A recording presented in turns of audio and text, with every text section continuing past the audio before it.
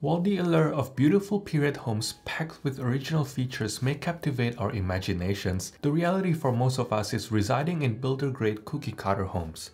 While these homes may lack character and originality, there are ways you can add warmth and interest without the architecture doing the heavy lifting for you. From something as simple as choosing the right decor and furniture, all the way to wall paneling, here are my top 12 tips to add character to a cookie-cutter home. The term cookie cutter home refers to homes that have been mass produced with little variation, quite like how a cookie cutter creates identical shapes from dough. These homes are usually part of larger suburban developments where every home has been built to the same specifications to streamline construction and reduce cost. It is a one-size-fits-all approach. The same thing also applies to most newly built apartment blocks. There's rarely any feature inside, just an empty white or grey box. But don't fret if you do live in one of these homes, there are numerous ways that you can transform it into a personalized and welcoming space. It ultimately boils down to two things, curating and paying attention to details in furnishings, lighting, and decor, or adding in interesting architecture elements that feels right in the space. In short, you need to pay attention to details and make whatever is in the space unique to you, not apply a one-size-fits-all approach. If you have a cookie cutter home and shop in the same 5 to 10 big retailers like West Elm and Target just like everyone else, then you can't be surprised when your spaces all end up looking the exact same way. Challenge yourself to venture beyond the familiar and look for boutique stores, local furniture makers, light designers, and explore the world of second-hand vintage and antique pieces. Just getting one or two of these pieces will instantly infuse your space with character and individuality. But antique pieces alone won't instantly turn a builder grade into a characterful home. Be mindful of the scale and style as overly ornate pieces can sometimes look awkward in newer homes with small rooms and low ceilings due to their size and very traditional finish. Instead, look for vintage pieces that are visually lighter and slimmer. And if you're on a budget, then be patient and take the time to buy secondhand pieces or even go thrift shopping. There's no need to furnish your whole house in a week or even a month and for many people, it can take years and that is okay. Remember that this is real life, not a reality TV show. Beyond essentials like your bed, you don't really need to get everything together all at once. Take the time to source pieces that you actually like or ones that will be useful to you, rather than filling empty spaces. Doing this also allows you to curate items that you personally like and make your home unique to you, not a replica of something you see on Pinterest. If you're a bit stuck about where to shop, you can also check out our mega shopping list. We've curated a database that features over 300 stores, many of which are used by leading global designers for their own projects, including places where you can get custom upholstery, furnishings, and window treatments. This is a big one. Always upgrade those builder grade lights and add more lamps in your home. You can instantly elevate a home from builder grade to custom with light fixtures alone as they tend to be poor quality, unstylish, or too small in cookie cutter homes. Unlike most decorative pieces, lamps can both look good and functional. Plus, they're easy to incorporate if you decide to move to a new home, so I'm usually inclined to invest more in beautiful lighting. Scandinavians do this particularly well, and most of their homes usually feature plenty of unique lighting, many of which are closer to sculptures than your standard light fixtures. A show-stopping lamp or light fixture can easily draw your attention away from the lack of architectural feature in a room. Also check that there are enough layers of light. In most cases, builder-grade homes only have overhead lighting, but the secret to a cozy atmosphere is having all three layers of light, ambient, task, and accent on top of ceiling lights. Add in unique pendants, sconces, or flush mounts and also freestanding lamps like floor and table lamps in various places around the room. With lighting alone, you can completely transform the mood and feel of a space. Builder-grade homes tend to feel really flat. To cut costs, they often put in cheap plastic blinds or totally leave the windows bare, so it's often just window, wall, window, wall, window, and wall. To break this up and add in some softness, I'd suggest installing curtains to filter the natural light and to also emphasize the height and width of your space. For smaller windows, Roman blinds can be a very good option. Custom window treatments are best, but they can be pricey, so to save a bit of money, you can buy them off the shelf and hem them so they fit like a custom curtain. Make sure to get them taller and wider than the window and get enough fabric so they look full instead of stretch. You can check out my 5 curtain rules video for a more in-depth guide on this. Curtain is one thing that I really like to incorporate in all of my client projects as it is so easy to do functional, and has a massive impact. It doesn't matter whether you have a builder-grade home or not. The facelift that drapes can give a space is substantial. You can also take it a step further by automating your curtains, which you can do with the SwitchBot Curtain 3, who is the sponsor of today's video. I love smart devices that make my life easier, and this little robot-like device is a fantastic addition to any curtain. It glides very smoothly, never get stuck on my hundreds of testing, and they retrofit easily to any existing curtains and tracks.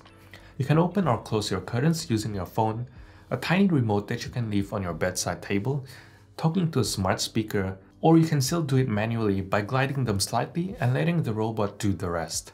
Even better, you can put them on a schedule so they cycle at your preferred times, or set an automation like having them automatically close when the light level outside is low to allow you some privacy inside your home, or perhaps the reverse, to protect your furniture against intense sunlight. Installation takes about a minute on my end with the U-Rail curtain track, no tools required. Simply put in and twist the side clamp and lock in the robot to the side clamps. I'm surprised by how easy that is, and yes, it is completely hidden behind the curtain. In case you're wondering, there's also a rod version that works with all kinds of curtain headings, and it also works with various kinds of rails. Setting up with the app is just as easy. Download the app and follow the on-screen instructions. It works straight off with Bluetooth on your phone. If you have plenty of smart home devices like me, the Hub 2 gives you Matter support and also allows you to connect to Google and Alexa. It also has a temperature, light, and humidity sensor, which is very useful. One of my favorite features is the quiet drift, which makes it completely silent and opens up the curtain at a very slow rate so you can wake up to natural light in a much nicer and gentler way.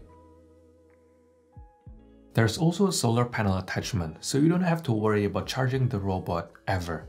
You can check out the SwitchBot Curtain 3 and all its accessories with the link down in the description box below. Thanks to SwitchBot for sponsoring today's video. Original art has the remarkable ability to transform a mundane home into an elevated space, infusing it with personality, sophistication, and style. If you find a specific artwork or artist whose work speaks to you, or that you feel a certain emotion when looking at it, then consider investing in those original pieces. The Affordable Art Fair is a great place to start. I'll definitely give it a go if they have dates in your city although it's mainly catered to contemporary artworks. Places like Bluethumb and Saatchi Art are also great places to discover relatively affordable original artworks. I'll link down some of my favorite places to get artwork down below. Otherwise, look into thrift shops and secondhand pieces. You can often find great pieces at a bargain. Whatever you do, avoid buying generic artworks just to fill in a blank space. Things like cringy quotes or one of the many generic prints you find in discount stores. They're totally devoid of character and will further detract from the personality of your space, which is already non-existent to begin with. Unfortunately, cookie cutter homes often come with the cheapest paint, which is not always ideal as it is dead flat and has no sheen at all. Developers choose this finish because flat paints hide imperfections really well, and worse, they often go for builder's beige or the dreaded grey without any consideration to the surrounding finishes. Paint is an easy and affordable change which takes up a large area, so it is guaranteed to transform your home. I'd highly encourage you to explore this if you don't like what is currently on your wall. Paint is a typical change, but you can also opt for wallpaper. It doesn't even have to be that bold. You can get subtle neutral wallpaper to add in interesting visual texture like grass cloth or fabric. If you're worried about how permanent wallpaper can be, Consider them in smaller settings like an open nook or guest bathroom. Also consider how you can elevate the curbside appeal of your home through paint. Cookie cutter homes are all painted the same colors like taupe and dark gray. Consider a color that reflects your individual style and make your home a statement from the outside. Doors are especially great to add a splash of color, but make sure it goes well with everything else. Plants are always a great way to elevate a space, even more so in cookie cutter homes. While I'm not personally against fake plants, I do think that real ones are a better choice where possible, as they all look different to one another and there are so many easy to care plants to choose from. You can also look into large or oversized statement arrangements in vases. I always like to look for one with branches that have a lot of movement, something with a lot of curve or have elements that branch off. Depending on where you live, you can source real branches from native plants or get some fall branches to style with. Dried branches and flowers are also great as they are 100% natural, but have undergone a treatment to preserve them. You don't just have to focus on the indoors, but also consider how you can enhance your exterior landscape. If you live in an apartment, consider how you can elevate the balconies. I did a Japanese garden in my previous apartment with some decking, rocks, plants and solar light and they definitely stand out as far as balconies go. So far we focused mainly on the visuals, but integrating other sensory elements is just as important. Music and smell are the two easiest things to include and will totally enhance your perception of the space. You can even do this right now.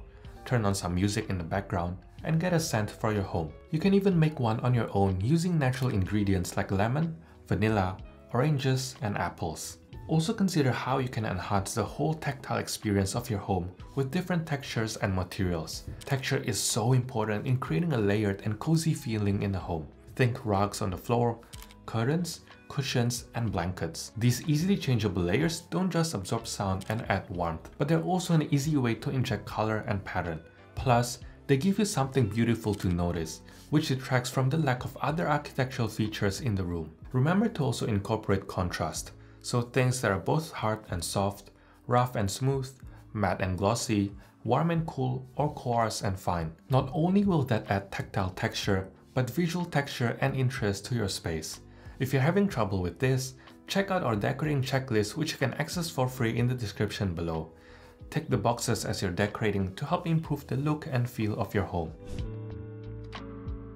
Custom joinery can be quite expensive, so if this isn't in your budget, I'll suggest DIYing it with modular IKEA units like the popular Besta range, Metod kitchen range, Pax wardrobe, or Billy bookcases. The Besta range is a versatile modular shelf unit designed for customization, featuring a variety of mix and match shelves, doors, drawers, and handles. It is one of my personal favorites and I've used it in many of my client projects as TV stands and cabinets. I've also seen many people online use them to create very interesting built-ins for various rooms around the home. I think that many people are worried that IKEA products look cheap, but there are actually many companies that offer custom door panels like Semi Handmade, Superfront, and Norse Interiors, which transform these basic pieces into designer pieces.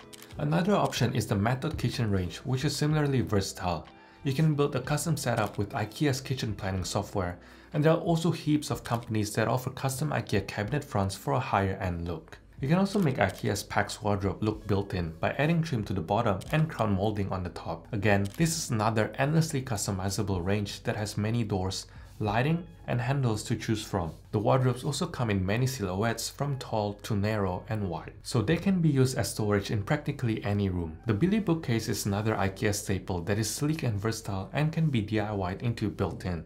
Many people add custom molding to the top so it looks like a built-in bookcase. I've seen many people online turn these units into large built-in library walls and other people have installed two units on either side of a window with a bench seat reading nook in the middle. Apart from integrating these products as built-ins, they also work well as freestanding furniture, but as flat pack pieces, they often look boxy and boring, which isn't what you're going for. The key is to add in details, whether there is custom knobs, pulls, or legs, or changing the front panel to something custom, or perhaps adding in details like molding. For the added wow factor, consider integrating built-in lighting to highlight specific details in your built-in. You can use recessed lighting or LED strips like what we did for this bar cabinet in this project. Similarly, when it comes to built-ins, I'm talking about any type of custom woodworking, not just storage units. Things like a bench built into a bay window, a bookshelf that fits perfectly around your windows, or a custom joinery piece that adds storage around your bed, or even a slider screen like we did in the studio apartment are all great options. Have you ever noticed the stark contrast between the molding in high-end residences and builder-grade homes? In upscale properties, you often notice crown and wall moldings, thicker door casings, and grander window trims, while builder-grade homes tend to have minimal and understated wall details. These details are one of the most overlooked parts that makes a big impact. adding a level of character and luxury. But it is also important to point out that not every style or home needs this.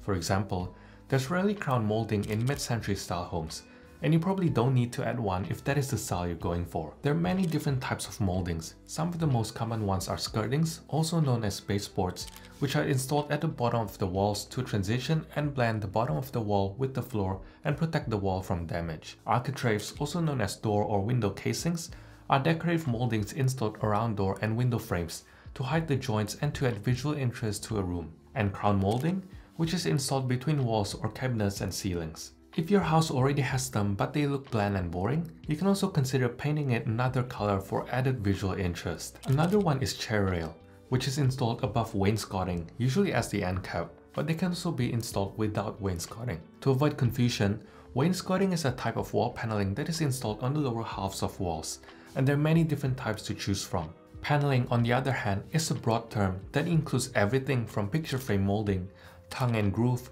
vertical wood slats, shiplaps, and many more.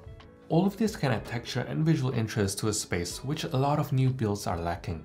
There's so many styles to choose from, so go ahead and experiment with them.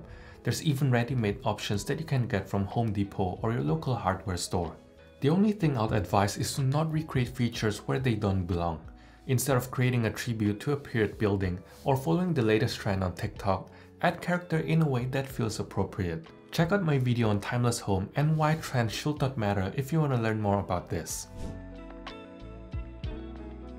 If you want to make your ceilings more ornate, I'd suggest ceiling medallions which are circular accents that are placed around light fixtures or ceiling fans. They draw the eye upward and ground light fixtures much like how rugs ground furnitures. Ceiling medallions can range from anything intricately detailed to stunningly simple, so they blend into many different architectural home styles from traditional to contemporary. Overall, I find that they are a really impactful way to infuse personality, a sense of grandeur and charm into a home. Just make sure you get one that is appropriate for the style of the home. If you enjoyed this video, be sure to check out this video on timeless decorating and how to create a magazine-worthy home on a budget. Otherwise, thanks for watching and I'll see you in the next one.